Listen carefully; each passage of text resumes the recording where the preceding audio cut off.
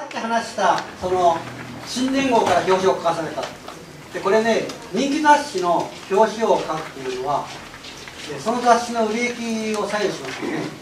で22歳の若造がね、えー、突然人気雑誌の表紙を書く。で少女画報の表紙を書くんですけどそれをその前年号前の年まで返すとね清水義雄っていう絵描きだったんですよ。また若い人なんですこれも。でその人は文文献にねもう2回入選したんですね。で講師としてはその清水義雄を押しのけて自分が書くってことにねすごいなんか奮い立つっていうかね。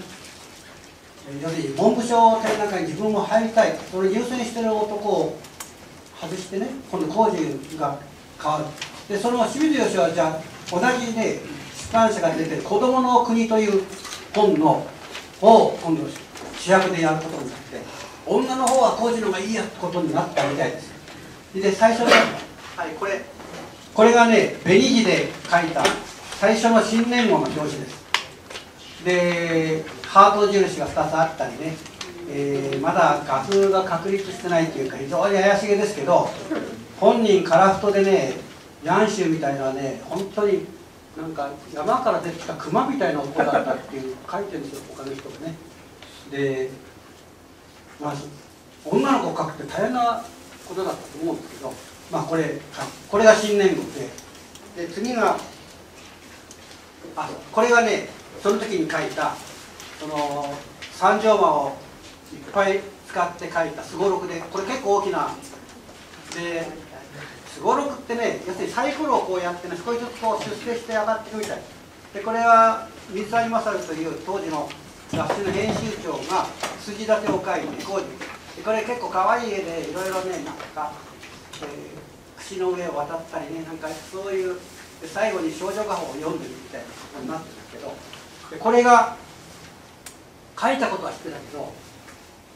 どこにもないんですよこの絵が。で私がこれ手に入れた。これ、えー、神田の古書店でね5万円で手に入ったんですけど奪い合いなんですよね。もう先着順押さえとか言ってねなんかだけどこれやっと手に入った。まあ手に入ってじゃあどうなんだって言うけどまあそうなんですよ。印刷係の仕事原画はなくても残ってるからありがたいな。で上に書いてあるのがねなんかいろいろなこと書いてあるじゃなくて少,、えーね、少女の国、うん、横をすごいね。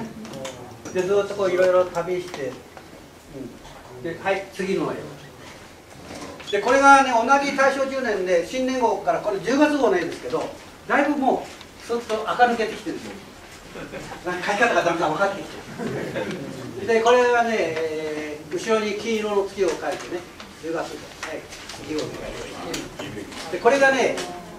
えー、10年からこれもう13年ですからパリに行くのは14年ですから結構もうギリギリもう全盛期っていうか人気沸騰した頃でこれ「人を降る雪」って帰り道に降ってくる雪っていう題なんですけどえー、どういうことかっていうとね当時のこれトップファッションなんですね。あの女学校の師範学校とかね実践お茶の水ね。そういうとこのエリートの高等女学校の女学生なんですよ。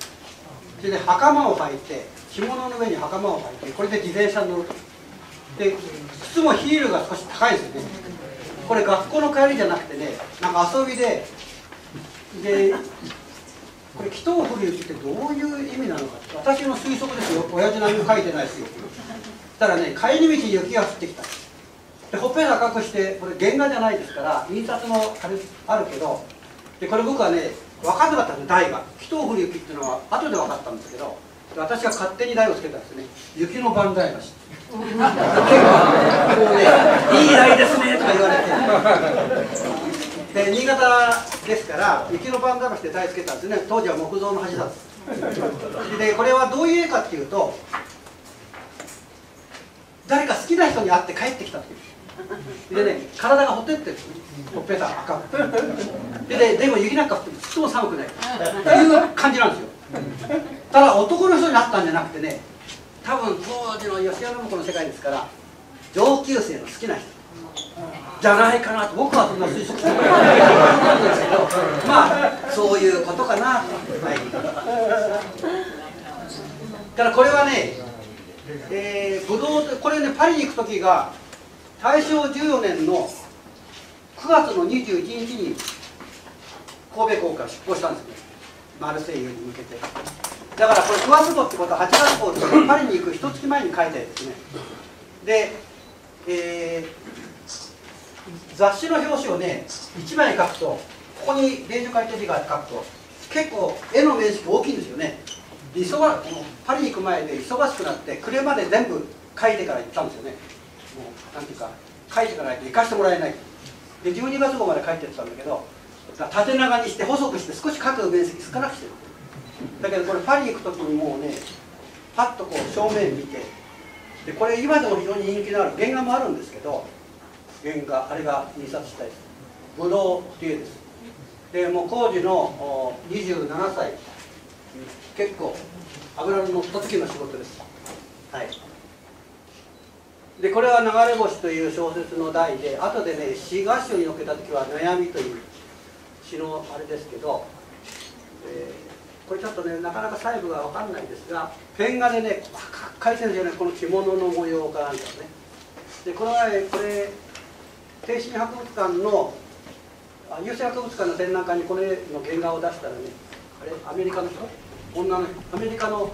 そういう方の人が見てねこの絵を、ね、世界中に発信してくれたっていうすごいすごい素敵な絵だでやはりこれもさっき申し上げたようにペン画で着物の材質ね何の切れを着てどういう模様なのかとかね。それから工事も紙紙なんかもね日本語も全部言えた人ですからそういう着物の着付けも全部できないと書けないということでそういう訓練を受けてですね。で一つ一つ同じ模様をほとんど描かなかった何千点手を描いてるんですけど全部デザイン。これもその代表的なペン画の一つです。これもまあ思い出の一緒にという題ですけど、えーと、中国のロジンっていうね大作家いるんですよね。日本でいうと夏目漱石。でロジンがあの工事のことが好きで。で、まあ、仙台になんかしたんですけど中国に帰ってからね工事の吹屋工事河川って本を出すんですよ。でこれはその時の本じゃなくて雑誌にこの絵を紹介してるんですね。日本のね若手の人気画家の私の好きな絵っていう思い入れの一緒まあ非常にもう全盛期の仕事ですね。パリ行く前。はい。これは大正4年10月号ですから9月21日にパリに行ってますからちょうどパリに行く月に出てた少女クラブの口絵です。シャボン玉っていうんですよね。でこれ女の子がこう、まあ、椅子に乗って片方のスリッパが落ちててでシャボン玉曲がってるんですけどこの絵の原画がね谷内六郎さんという絵描さんが持っててそれで谷内さんの奥さんが谷内さんがこれ画集に書いてるんですよね。私は大正10年生まれなんです。でこれ大正10年です大正14年生まれなんで、えー、その私の生まれた頃の浩二先生の絵をね4点ね額に入れて毎日毎朝我が家の一番いいところに置いてあって毎日毎朝見てるその書いてるっていうのを言ってるんですね。でこれ谷口夫人がね契約記念館に寄贈してくださった、はい、すごい今でもなんかあれなんあれ絵はがけがよく出てるんですよ。人気です、はい、これが結構象徴的な絵で、えーまあ、小霊女っていう霊女会の小型のもっとちょっと年齢の若い女の子最初の本がパリに行った時に出ましてそれに工事がパリから送った絵です。で出版して、まあ、何点か連続で描いた絵の中でこれはねキャビンっていう、まあ、出版2です。出版で 6, 枚6枚シリーズの絵を描いたんですけど神戸港から港船が出て箱根原に乗っていくんですが一等船客に乗ってるんですよ工事それで夫婦で一等船客に乗ってねそれでああいうなんていうかなスーツケースっていうか今のスーツケースっていうと大きな箱ですけどそこに座ってねえー、出発ドキドキするけど胸張っていくと。でこれ工事のことを一番象徴する絵だということを言ってくれてる人がいます。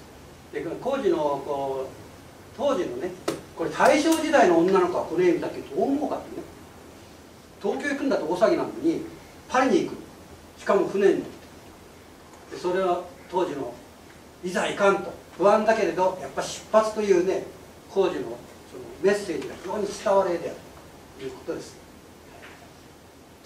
でこれはその今の出版の中の一つで、えー、別れのテープ。これ船で当時は船でこうテープを投げる。でこれテープがこう乱れててあそこの左の上にね隣にいる男の腕がこう入ってる。でこれがねこれ新潟県立美術館の学芸員の人がこの絵はね狂気の絵っていうかねこのリリボンが舞ってるこのね当時のこのなんていうかな。すごい。私はこの絵が目に焼き付いてるってことを書いてます。はい。でこれはパリに行ってから「パリの散歩」というコーディの代表的なペン画ですけどえっ、ー、とねちょっとこれあのうんこれはね原画が残ってるんですよね運よくね。でセーヌ川を行く船とかねそれから闊歩する女だとかそれから自動車の群れとかいろいろこう象徴的に書いて、まあ、構造主義っていうか当時のねあの非常に新しいエッフェル塔が真ん中にダーンとあってね。でこれがせめて畳1枚書いててくれたらなと日本の本当に名作の一点になるだろうにただページ1ページの絵ですからただまあ非常に代表作です、はい、でこれがね、えー、根血児とその父母といいましてパリに行った翌年の秋のサロンドートンネルに入選したいです。でこれが船長外国航路の船長。あちらが日本のあの古式豊かなというかな。伝統のある家の奥さん丸曲げ言ってます。こちら金髪のとこで、えー、当時のねエリートなんですよね。工事は外国航路でパリに行ってますからで船長のテーブルで、ね、食事してるんですよね。工事忘れたと思いますよ。小学校しか出てなくてねフォークもナイフも分かっちゃないんですからリーさんでも谷中の普通のうちの民家の娘ですからそれが2人が船長の横にいて40日間旅してねでそうその時に船長をじっと見ててと思うんですけどであの真ん中にいる男の子が根血児とその父母主役は根血児なんですけど外国フランスのルーブルやなんかにあったあの圧倒的なフランス美術とかヨーロッパ芸術の伝統とが自分が勉強してきた日本の大和屋の伝統ねが左の女。でそのアイヌ語の根血児が自分がこれから勉強するヨーロッパと日本の間のいいところを取って。でこれが日本に置いてきた男の子の王子という長男の面影を描いてるでこの絵のデッサンを描いてる時に日本から手紙が来まして、藤村浩一という霊女会の編集長の巻紙が来るでこの王子君今朝駅にいて突然死去するで夫婦で泣いてね奥さんリンさんは窓から身を投げるんじゃないかっていう。でそれでデッサンを描いてそして一月後にこうサロンドートに出して入選したいです。でこれだけはね持ち帰って日本に。でブリキの筒に入れてねずっと生涯死ぬまで画室にあったり。で工事のまあ非常に気持ちのね本当の挿絵画家じゃなくて対対策というかえー、出品側に本式に取り組んだっていう記念すべき、まあ、サロンドートリーの初入選作です。はい、でこれはね、えー、翌年のサロンドートンの入選作でベトイユってところに風景あのモネの睡蓮のあの別荘があったんですけどあのうちのあそこのそばなんですけどそこに工事がね、えーまあ、デッサン旅行に行くんですね。先輩にすられて。でそこで描いた書いてデッサンをもとに書いた翌年パリに行った翌々年に入選した秋のサロンに入選してでこれも収納友社が持ってるんですよね。で収納友社から前借りして工事はね借金返す時にこの絵はね渡したと思うんですね、えー、そのお詫びの兄かな。でこれは私が朝日新聞の主催の工事展やる時に、え、収納友社の副社長が NHK のディレクターやってた男だったんで顔見知りで電話して「えー、親父があなたのところの父親お父さん石川さんにお世話になってていろいろ工事のものを書いてるんだけどなんか作品あったら探してもらえないかって言ったら電話があってしばらくした「あるから見においで」とかでこれがあったんです。よで僕はこれは花嫁人形って東にも出てて白黒写真ですけどうわーって俺僕はねその時ねうんちょっとね順調だったんで興奮してねうわーこれサロンの入選作だとか言ってそしたら向こうは大事にしてなかったのでそれからね次に1週間後に行ったらもう木の箱に入って最悪。で取り返せなくてまあ借金した親父が悪いんですけどはい。これこれはね、えー、女という題1女にって2つあるんですよ。でこれ私が買った絵でパリの画合唱の倉庫から出てきてで「女一女二」という題で書いたんですけどどうして一二っていうかね女の人をね一つだけで表現できないと。つまり、えー、なんたらこれはフェロモン満開にしてるでコケットリーの女性として非常に性的な存在で。でもう一つは非常にねあのえー、すましやかというかね本読むよね。なんかそういう感じで2点並べて初めて表現できるみたいなこと工事がわめたらしくて奥さんが日記に書いてるんですよそのフェロモン満開の方の写真がこれです。でこれが出てきて、えー、かなり汚れてたんですけど水に浸ったりなんかして結構修復してこれ和紙のガンピシというあのガン鳥のガンね。ガンの皮の紙。ガンピシという紙に水彩で書いてるから、え洗うと流れちゃうし非常に修復が難しかったですけど汚れだけ取って結構きれいになってこれが出てきてから、ね、工事のパリ時代の評価が変わりました。展覧会のポスターになったりなんかしてつまりやっぱ女解体はねあの圧倒的に人気があるんですよね。で今の私のテーマっていうかパリで工事の絵はほとんどパリで売れちゃったんですよね。それで売れちゃったっていうか売るしかなかったというか生活するために。だけど日本人でパリで絵が売れたいかっていませんで、まあ、売れたのは良かったんだけどただ工事としてはサロンに入選したいぐらい持って帰りたかったけど、まあ、背に腹変えられて、まあ、売っちゃったと。でも本人心のどっかでね、えー、あくまでも終作でこれからいくらでもいい絵を描ける。ところが実際はもう二度とパリ行けなくなるしもう二度と描けなかったってことですけど。でこれが1点入っただけでだいぶ評価が変わりました。でこれまあ、えー、パリの合唱もね人の足元を見てこれ300万で買ったんですよでね日本に記念館があるってことすぐ分かるわけですねこう調べれば。そして修復費と税金やなんかで370万ぐらいかかる。でこれ私があの新潟県立美術館に寄贈するんですけど誰も買ってくれないですよね。こは大問題あとね3点ぐらい探したいなっていうのが私の今考えてる。ことです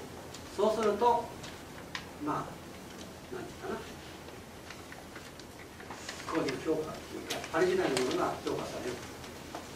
と思ってます、はい、これがねその収納とこにこれもあるんですけど、えー、展覧会シャンゼリゼで個展を開いて大成功っていうかね非常に評判が良くてでその時の翌日展覧会の終わってる時の日付のある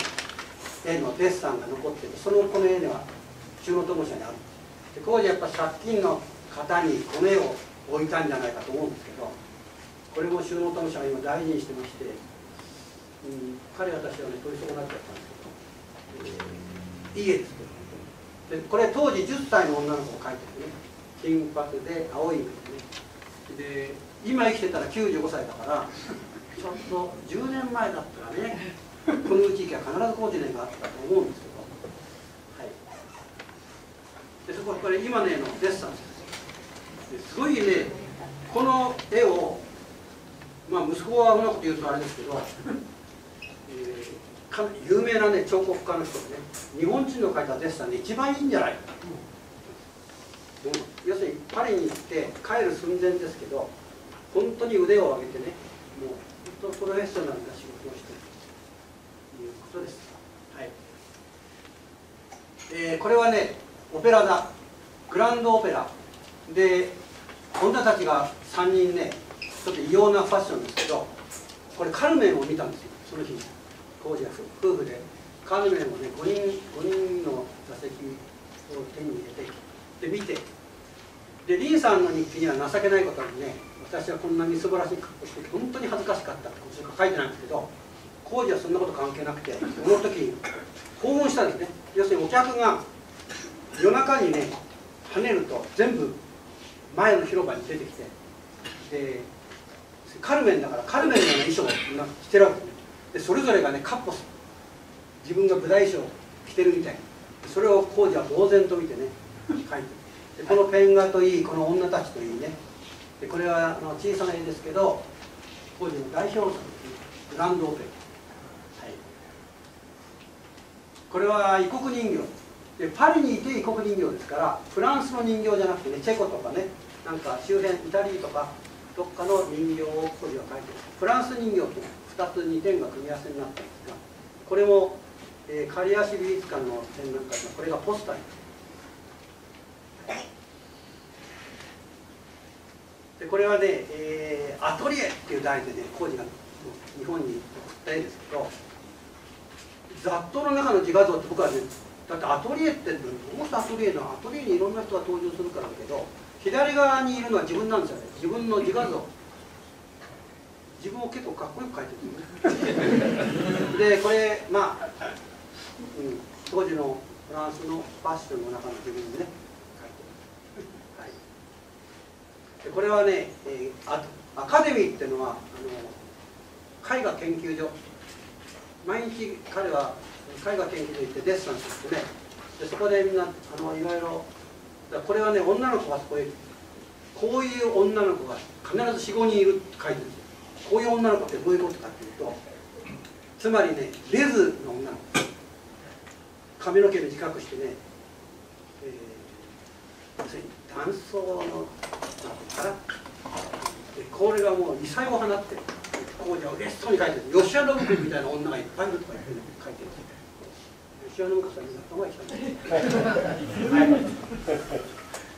でこれはパイのモデルっていう絵ですけどこれは工事の代表作に一つで、非常にねあの不思議なペン型が全く違うね。タッチで描いてます、えー、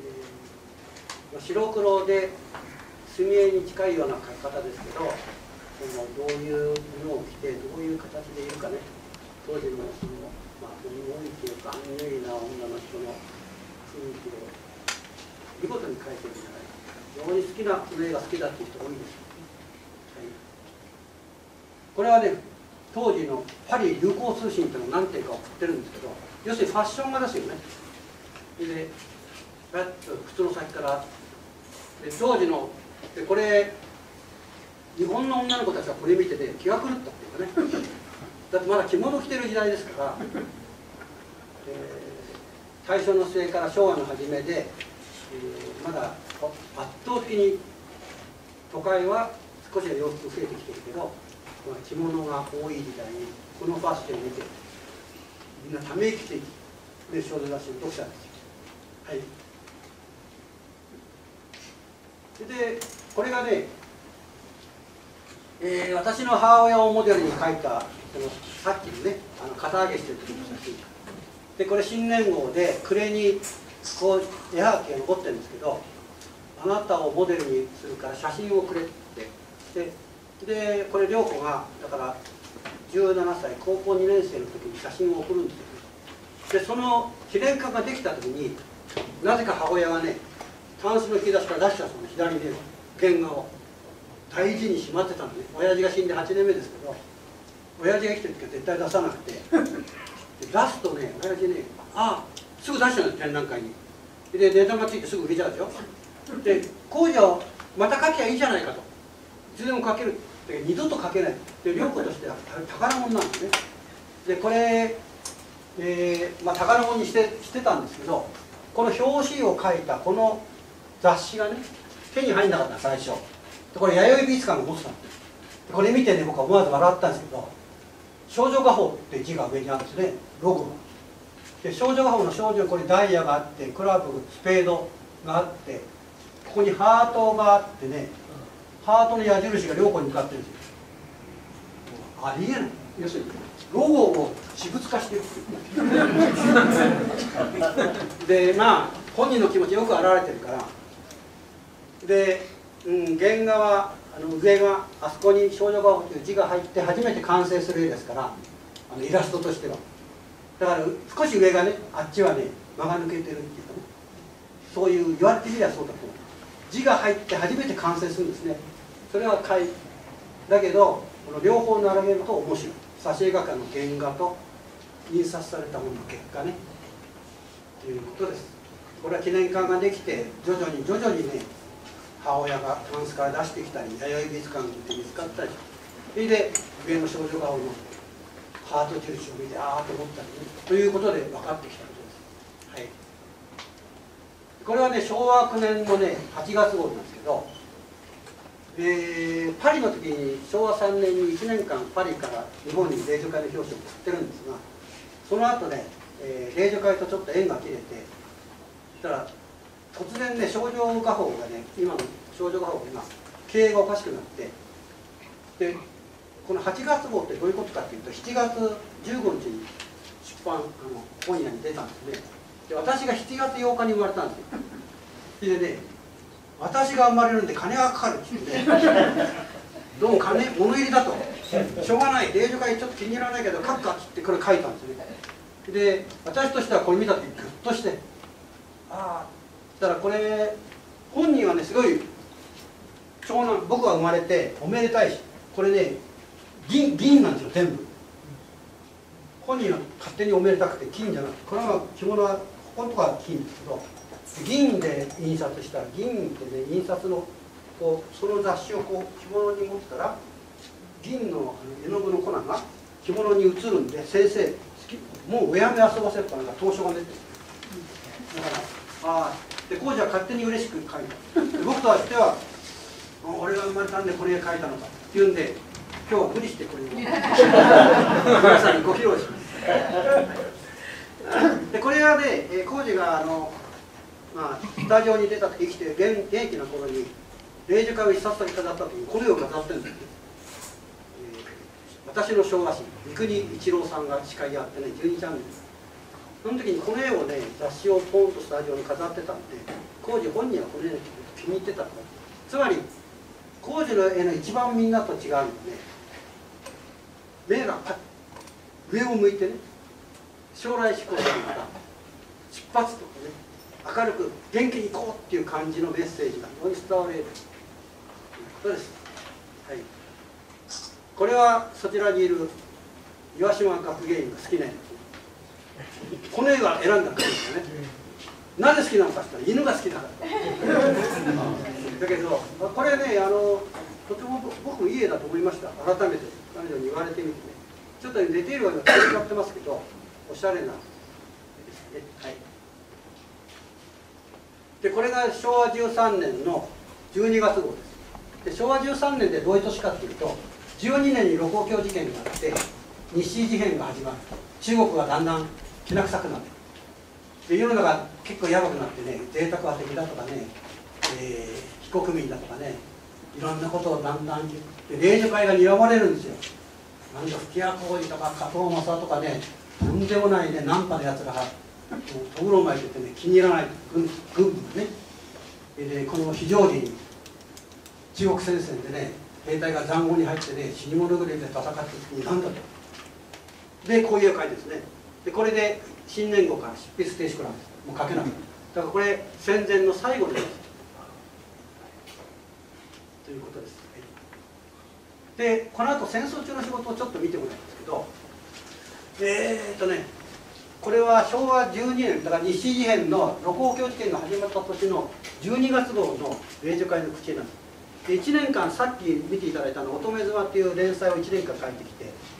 でその間表紙はね宮本三郎という絵描きに代わってもらったんでで宮本三郎って人気柄で山下公文山下智之かな？えー、シンガポールの陥落の時の日本の将軍が山下でイギリスの方がパーシバルでそれ書いた宮本三郎って有名な書きがあるんですけど戦争中は工事とね1年間だけ宮本三郎に代わってもらったんです。工事自分の連載を。でその間はその自画伝を1年間フル回転書いて。で12月号なんですこれ。で自画伝も書き終えてふっと体が空いたから口を1ページだけ書いて。でそのそして今年も行くっていうのは行く聖教のせいですけど工事にしてみればすごい考えっていうかねいろいろあった今年は俺自伝でまあひどい目に大変だったと。それで贅沢な女の子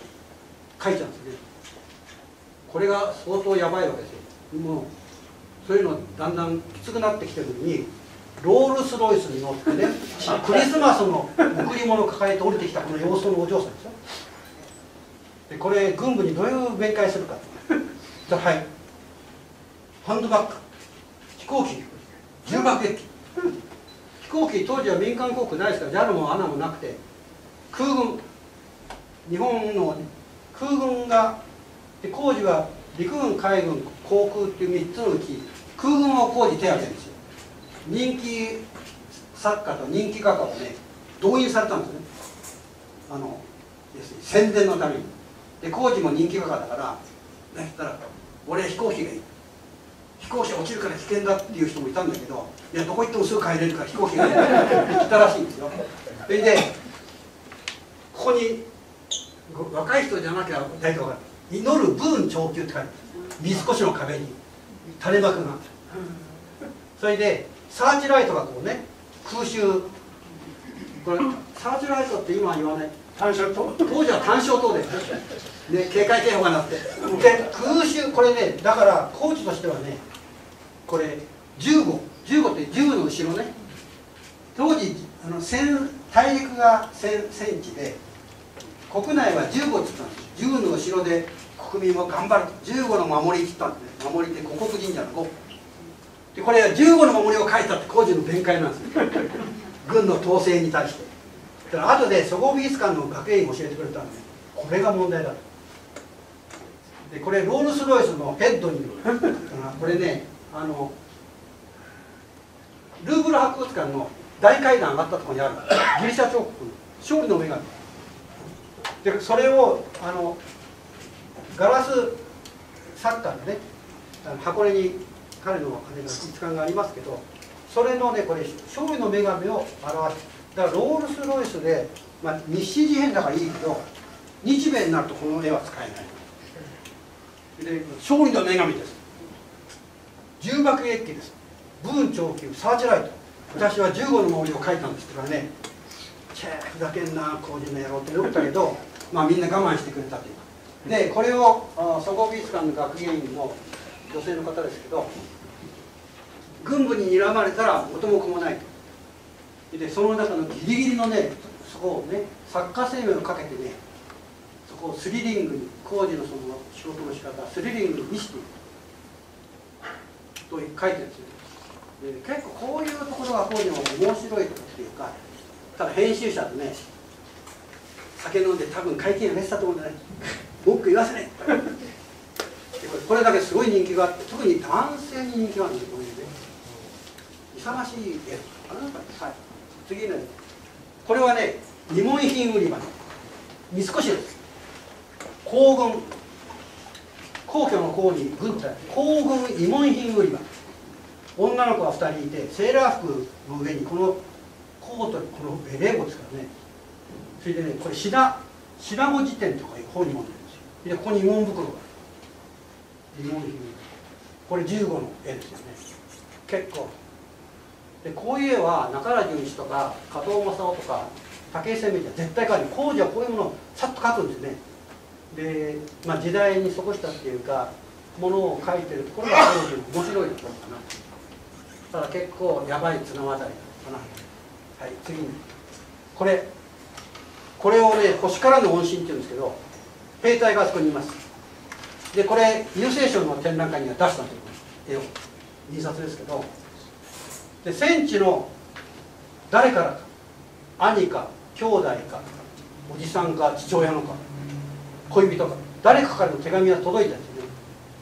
ね。でそれを戦地にいる人を持ってるんですけど戦地にいる人はあそこは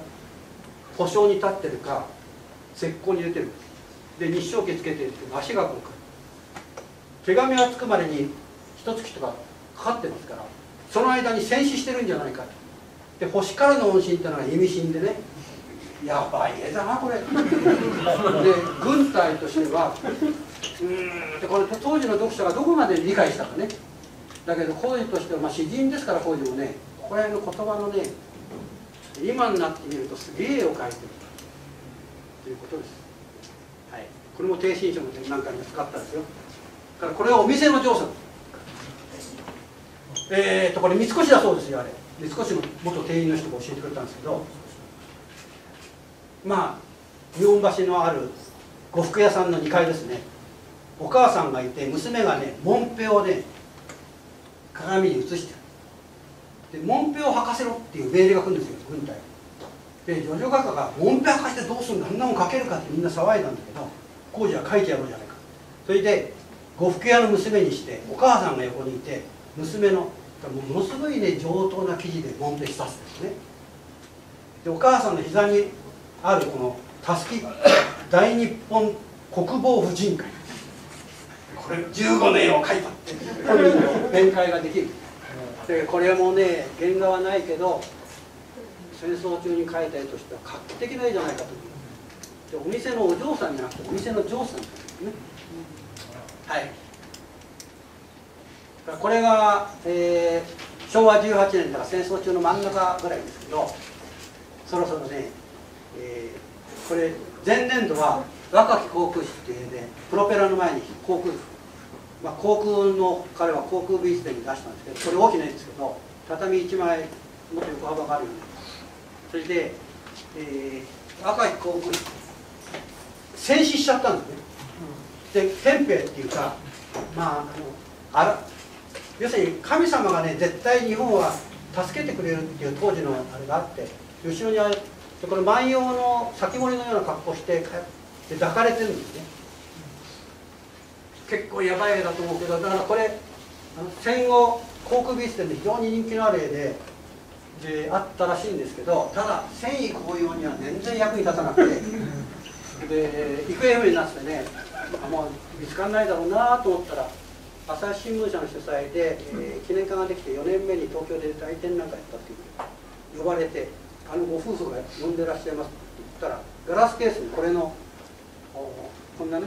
白黒の絵はがきを飾っといたんですよ。ただそのご夫婦が「この絵うちにありますよ」って言って。で成城学園のお屋敷で戦争中の法務と長官だったその奥さんのおお父さんで戦後に慶心大臣だったそれでだから航空局長官でこの絵を航空美術展に出したいんですからそれで持っててで戦後掛け軸にして持ってらっしゃるでうちにじゃあぜひ見せてほしいって言ったらいらっしゃいってその日のもう午後僕は成城学園のお屋敷に行ったんですよね。そしたら掛け軸があってバッと目の前でこう広げたら絵の具がバラバラ落ちたんですけどはいどうぞ持ち帰りください。ってでそのまま預かってで東京の展覧会には間に合わないけどそれで修復してで次に博多大丸の展覧会からこれ飾ったんですね。で私が預かってるまんなんですけど、えー、結構でね要するに日本人が日本画の、まあ、日本画でいわゆるので絹で描いてるんですけど人をこう抱いてるってのは、ね、日本の画材ほとんどないんですでパリ行くとキリストマリアねこういう絵は地上氾濫してるんですね。でこういうじゃパリにいたせいもあるけどこういう絵を描いたってこれ非常に珍しくて仙台の美術館の学芸員の人がねこの絵をどうしても出品したいそれで戦争画展のこんなその時の図録があるんですけど一緒にね同じページに安井壮太郎なんかと一緒に並んで出てるんです。いやじゃあ生きてたらこんなに感激したかと思うんですけどということですはい次これ晩年のね講談社から出た世界名作動画でこれ戦争中に昭和16年の日米開戦で、えー、12月8日に真珠湾攻撃ですけどこれが昭和12年の7月かなんかに出たんです講談社要するに霊女会やなんかの少女雑誌に書けなくなってで工事は失業するわけですけどだから同じ講談社でも4年からの編集者手を打って喜んだんですよね工事の動画というのは非常に人気があって書いてもらいたいんだけど少女雑誌がしばしくてなかなか書けない。で少女雑誌書けないんならすぐ工事の企画でやろうって言って世界名作童話電子これ第1巻。で第2巻。ちょっと次あこれがね、えー、シャラザードっていう、えー、娘さん。一回こうお話が面白くない殺されて置き先はどんどん変わるんですけどでこれ王様の前でお話をして千夜一夜でお話をしてついに置き先になるという千夜一夜の基本的なペン画ですけど王様それからシェラザードこれペン画工事はこれ関東に描いてる絵ですけどものすごい当時戦争で暇だし、ね、締め切りはないし本当に丹念に描いてこれ工事の代表的なペン画です、はい、でこれはまあ船乗りシンドバッドの扉の絵ですね。一つ一つね4つの物語が入ってるんですけど一つ一つ非常に丁寧な、ね、扉の絵を描いてるデザインして、はい、これは象にねシンドバッドが襲われるところですけどこれサインがなかったら工事の絵だったらもう分かんないですね。南陽一郎の、まあね、そういう感じですけどこれはダイヤモンドの谷。でこれから袋にいっぱいダイヤモンド詰めてわしの大わしのね足に体を縛り付けて谷から脱出する話です。動画でも、はい、でこれがね戦争中は第2巻。で戦後昭和25年に再刊された時は今度これが第1巻。世界名作童話伝承第1巻。なんです。親指でこれ工事のこれも表紙かないが全部ここに書いて、でこれ口へ関東のっていう親指が蝶々に船船葉っぱの船を引っ張ってでこれは講談社の絵本を何20冊ぐらい書いてるんですこれ人魚姫代表作代表的な絵本表紙ですこれはね15歳の誕生日に人魚姫が末の娘の人魚姫が初めて海の上に行くこと許されて海の上に行くとちょうど船が大きな船が止まっててそこの上でパーティーやっててそこに王子様がいるんですね。それを見初めてねわあ行きたい。で魔女のとこ行って私を人間にしてくれって。で足魚ですからそれ足をほらその昔声は今度喋れなくなる。ということで、ま、魔女と取引が成り立ってこれが魔女に行ったところですね、はい、これは孫悟空で、まあ、表紙です。孫悟空が戦ってるとこ。ろこれはね世界名作、うん、まあ童謡画集で好きな童謡をね童謡とか、の、まあ、いろいろ描いてる絵を自分でね好きな絵を描いてるね。結構代表的ないい絵描けます、はい、これはね浜地鳥。新潟の柏崎、えー、クジラ並み海岸。で早稲田出たねあの作詞家の人が柏崎でこの「浜千鳥」で母を探してっていうあの歌ですけど浩二もこの詩が好きだっていうことと柏崎に本当にあの幼年時代にいたことがあるんですねお母さんが。でそれで浩二が書いてるのはね自分の母親が自分を背中に背負って弟がまだ赤ん坊の時にねかじ柏崎の海でねお母さんが裸でね近所のおばさんと波打ちがでパシャパシャ岩の上で遊んだ記憶が当時は頭に残って非常に幸せだでその時にこの浜千鳥で要するに工事が後ろに背中にいますけどこれ抱いてるのは子守じゃなくて、ね、お母さん。でお母さん自体は15で子供を工事を産んでますからお母さんもまだ母親を探してる子供を抱きながらね。っていう工事の、ね、二重のテーマが重なってるんじゃないかなと思います。お待ちです、はい、ちょっと急いでやってしまよし。うんそろそろ。もう終わり。はい。じゃあね最後にね、えー、今日いろいろ資料を渡したんですけど